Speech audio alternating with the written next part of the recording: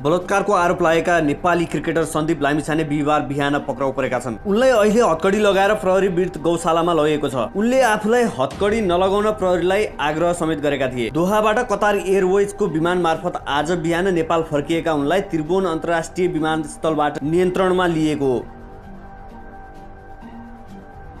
सन्दीपमाथि गएको भदौ पाँच गते काठमाडौँको एक होटलमा नाबालिगमाथि बलात्कार गरेको आरोप छ।